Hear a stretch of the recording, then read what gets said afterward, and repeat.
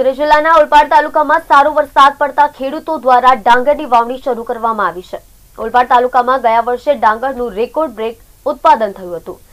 દરિયા કિનારે આવેલા ઓલપાડ તાલુકાના ગામોમાં મોટાભાગના ખેડૂતો ડાંગરની ખેતી કરે છે, જેમાં કરમલા ગામના ખેડૂત ઘનશ્યામભાઈએ વીસ વીઘાના ખેતરમાં ડાંગરની રોપણી શરૂ કરી છે.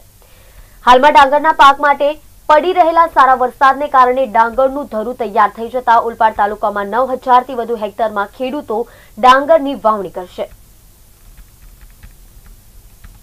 કુમાર જસભાઈ પટેલ છે. મદદનીશ ખેતી નિયામક, તાલીમ અને મુલાકાત યોજના પેટા વિભાગ ઓલપાડ ખાતે ફરજ બજાવું છું.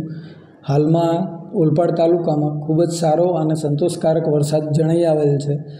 પર ડે વ્યવસ્થિત રીતે વરસાદ પડે છે, જેના કારણે ખેડૂતો ધરુવાળીઓ અને ગવાલની કન્ડિશન ખૂબ જ સારી રીતે કામગીરી ચાલી રહી છે. અત્યારે મોટાભાગના ખેડૂતો ધરુવાળિયામાંથી ડાંગરનું ધરું ઉપાડી ગવાલ કરી ખેતરમાં રોપણી માટેની પ્રક્રિયા ચાલુ છે.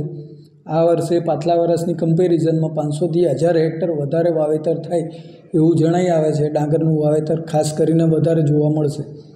જેની અંદર આખા ઓલપાડ તાલુકામાં લગભગ આઠ નવ નવ હજાર હેક્ટરથી લઈને દસ હજાર હેક્ટર સુધી ડાંગરનું મોટા પાયે વાવેતર થાય તેવું જણાઈ આવે છે.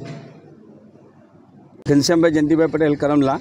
ઘનશ્યામભાઈ ડાંગરની વાવણી શરૂઆત કરી છે. કેટલા વીઘામાં ડાંગર બનાવવાની તમે શરૂઆત કરી છે અને કોલપણ તાલુકામાં મોટાભાગે ડાંગરનો પાક બનાવે શું કહેશો? હું છેલ્લા અત્યારે ડાંગર ડાંગરનો પાક અત્યારે છેલ્લા બા- બાવીસેક વીઘા જેટલું મારે બનાવવાનું છે. પણ છેલ્લા બે દિવસથી સુરત જિલ્લાની અંદર ઉલપા તાલુકામાં ભારે વરસાદ જે પડેલો છે અને ખેડૂતોને ખેતી લાયક જે વરસાદ પડેલો છે, તો અત્યારે ડાંગરના ધરો તૈયાર થઈ ગયેલા છે, તો ખેડૂત માટે ખુશખુશાલ અત્યારે વાવણી લાયક વરસાદ પડ્યો છે.